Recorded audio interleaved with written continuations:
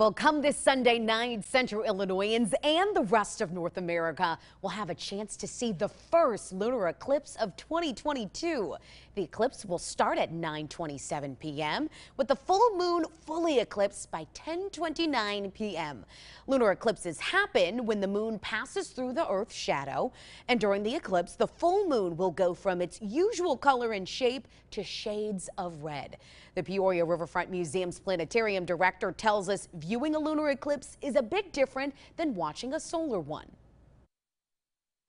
anywhere that it's nighttime that can see the moon can see a lunar eclipse. And with a solar eclipse, it's this very specific spot on the earth that you have to be to see that solar eclipse. So you little, learn a little bit as well. You can watch the eclipse with the museum staff Sunday night shortly after it starts. And for more details on how you can participate, you can visit our website, ciproud.com.